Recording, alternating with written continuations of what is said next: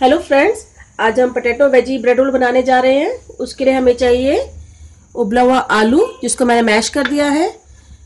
बारीक कटी हुई फूल गोभी मटर, बारीक कटी हुई गाजर, पनीर, जिसको मैंने बारीक काट लिया है। नमक स्वाद अनुसार, जीरा पाउडर, लाल मिर्च पाउडर, गरम मसाला पाउडर, धनिया पाउडर, अमचूर पाउडर, बारीक कटा हुआ धनिया और बारीक कटी हुई हरी मिर्च, चाट मसाला और ब्रेड रोल बनाने के लिए ब्रेड अब हम इसका मसाला बनाएँगे, हम एक बाउल लेंगे बाउल के अंदर हम लोग आलू डालेंगे,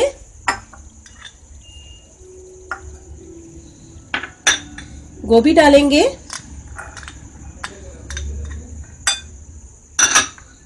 मटर डालेंगे गाजर।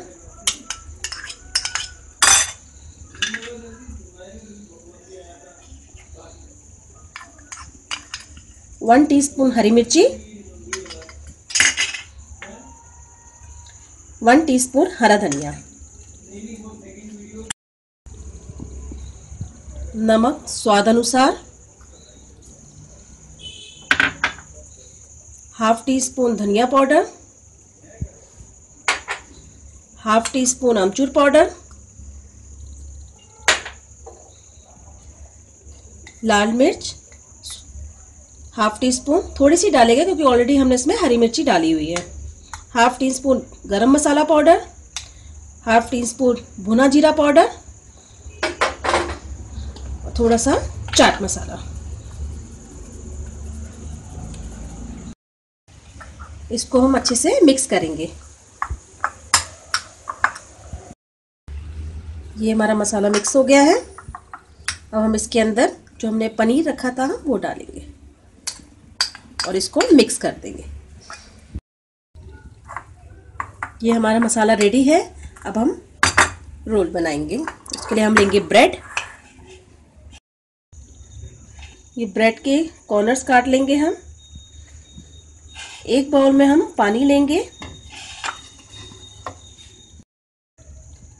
ये ब्रेड को हम पानी में डिप करेंगे और इसको हल्के हाथ से इसका पानी निकाल लेंगे।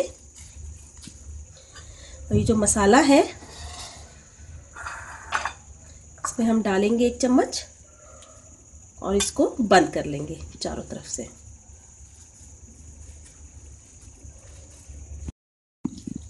इसको हम लंबे थोड़ा लंबा शेप में देंगे। ये देखिए, हमारा ये रेडी है।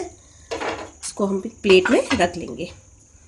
इसी तरीके से हम सारे रोल बना लेंगे। पानी निकाल लिया हमने।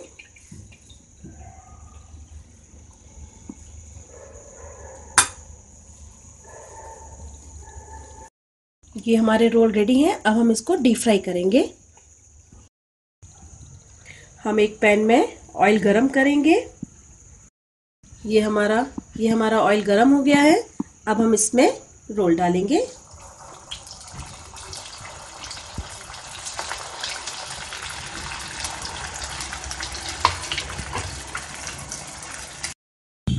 इसको पलट लेंगे और गैस को ज़्यादा हाई फ्लेम पे नहीं रखना है। ये हमारे ब्रेड रोल देखिए गोल्डन हो गए हैं। ये हमारे अब रेडी है, इसको हम निकाल लेंगे।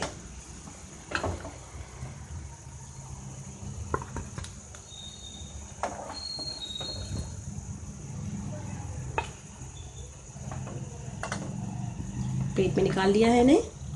अब हम इन्हें सर्व करेंगे। ये हमारे potato veggie bread roll ready है। ये दिखने में जितने सुंदर है, खाने में उतने ही यमी है। अगर आपको मेरा वीडियो पसंद आया तो प्लीज़ इसे लाइक कीजिए, सब्सक्राइब कीजिए और शेयर करिए। Thank you.